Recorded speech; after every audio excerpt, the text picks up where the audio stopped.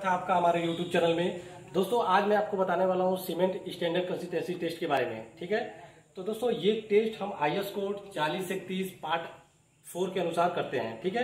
तो दोस्तों, मैं पहले सबसे पहले आपको बता दूँ, सीमेंट कंसिस्टेंसी टेस्ट हम इसलिए करते हैं ताकि हमें ये मालूम चले कि दोस्तों, सीमेंट में कितना परसेंट वाटर मिला है कि हमें एक निश्चित स्टैंडर्ड कंसिस्टेंसी का ज्ञात हो, ठीक है दोस्तों?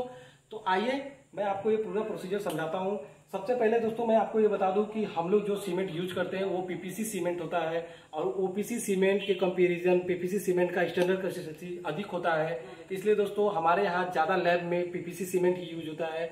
इसलिए दोस्तों मैं आपको आज एक एक्सपीरियंस शेयर करने वाला हूँ। चलिए, मैं आपका पीपीसी सीमेंट टेस्ट पे एक प्रैक्टिकल आपको वीडियो बना के दिखाता हूँ। मेरे चैनल पर बने रहिएगा और सब्सक्राइब करिएगा और लाइक करना मत भूलिएगा। ठीक है दोस्तों? दोस्तों, चलिए मैं आपको कुछ ऑपरेटर्स के बारे में बताता हूँ। हमें दोस्तों दो ट्रॉवल चाहिए मिक्सिंग के लिए। आप देख सकते हैं, ये दो ट्रॉवल चाहिए हमको मिक्स करने के लिए। और एक इसमें चूल्हा चाहिए, जब ताकि इससे सीमेंट उठा करके हम विकेट मोल्ड में अच्छे तरीके से भर लें। और दोस्तों हमें एक मेजरिंग जार चाहिए, जैसे कि आप देख सकते हैं ये मेजरिंग जार है। इसी की सहायता से दोस्तों हम वाटर मिलाते हैं। और एक हमें बैलेंस चाहिए, जिसका लिस्ट काउंट होता है वन ग्राम और एक हमको दोस्तों विकेट ऑपरेटर्स चाहिए, जो मोस्ट इंपॉर्टेंट इसमें है। इसमें दोस्तों आप देख सकते हैं, ये नीचे जो लगा हुआ है, नॉन पोरस प्लेट होता है, जिसका थिकनेस होता है दो एम ठीक है? और हमको दोस्तों ये बता दें, आपको देख सकते हैं आप, ये विकेट मोल्ड होता है, जिसका ऊपरी सरफेस डाया होता है सत्तर एम प्लस माइनस पाँच एम और निचली सरफेस डाया होता है अस्सी एम प्लस माइनस पाँच एम इसका हाइट होता है दोस्तों forty m plus minus point two m ठीक है?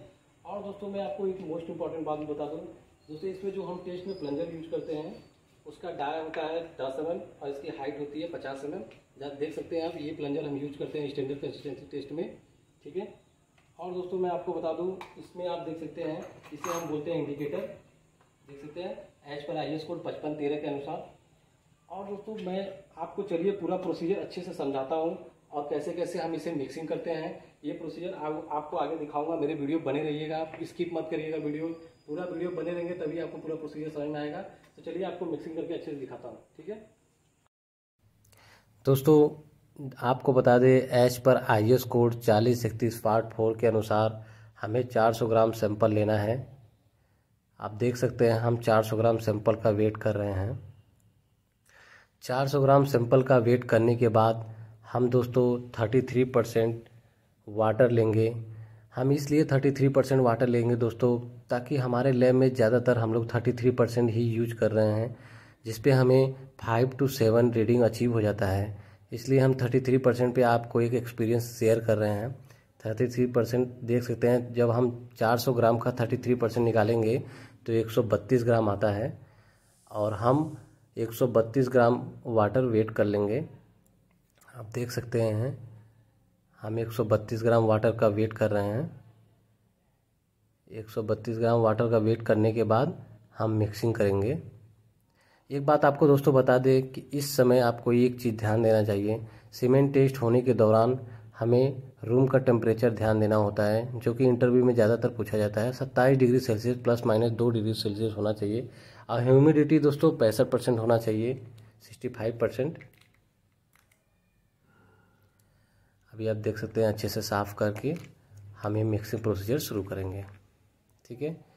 ये हमारे लैब में देव कुमार टेक्नीशियन ये प्रोसीजर कर रहे हैं।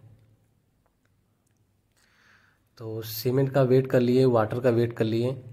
एक चीज़ आपको बता दें दोस्तों, ये जो मिक्सिंग का प्रोसीजर रहेगा थ्री टू फाइव मिनट में हमें कंप्लीट करना है। थ्री मिनट में हमें मिक्सिंग कर लेना है अच्छे से और टू मिनट में हमको विकेट मोल्ड में भर देना है। यानी दोस्तों, पूरा प्रोसीजर हमको पाँच मिनट में कंप्लीट करना है। मिक्सिंग जितना अच्छा करेंगे, आपका रिज़ल्ट उतना अच्छा आएगा। मिक्सिंग शुरू करने वाले हैं हम। और दोस्तों, इसमें आपको स्टॉप वॉच की ज़रूरत पड़ती है।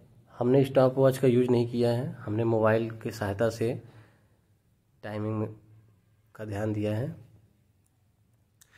तो वाटर ऐड कर दिए हैं।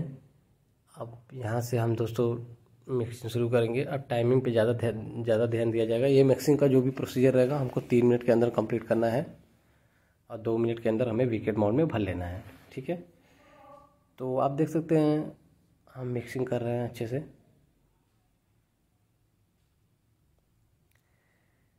मिक्सिंग शुरू है। और एक चीज़ बता दें दोस्तों कि ये टेस्ट हम as per I S code चालीस इकतीस पार्ट फोर के अनुसार करते हैं।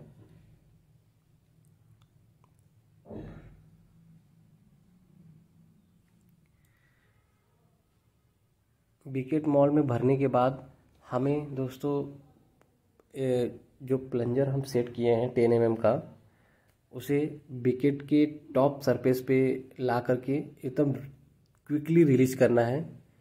और उसके बाद जो रीडिंग आएगा, उसे हम नोट करेंगे। देख सकते हैं हमने विकेट मॉल में भर लिया है विकेट मॉल को भी सेट कर दिया। अब ये देख सकते हैं प्लंजर को हम टॉप सरफेस पे ला दिए हैं। अब इसके बाद इसको क्विकली रिलीज़ करेंगे।